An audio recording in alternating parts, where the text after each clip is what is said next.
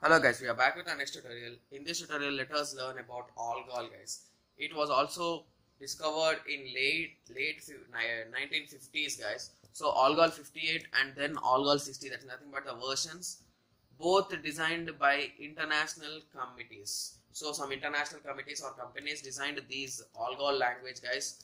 So in this block structures, dynamic arrays, dynamic passing methods, recursion concepts are included this is one of the first language to include recursion and few other concepts guys.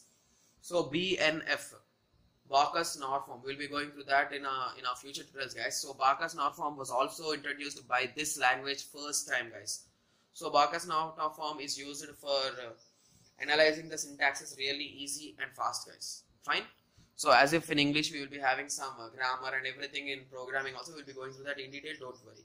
Okay.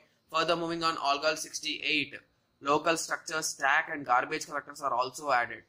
Okay, so these concepts were already initialized or already created in 1958 guys, 1950s. Okay, so now I hope everyone got a small idea on this. So in our next tutorial, we'll be going through Simula 67. Thank you. Thanks for watching.